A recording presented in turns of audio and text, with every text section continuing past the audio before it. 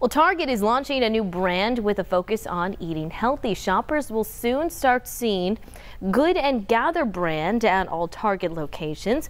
Target says the new brand focuses on a wide range of high quality, affordable food and beverage products.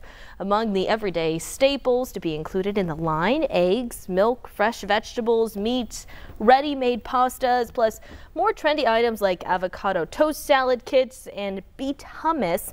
The head of Target's Foods and Beverage Division says the products will be made without artificial flavors and sweeteners. Good and Gather items also come with a money back guarantee. You either love it or you get your money back.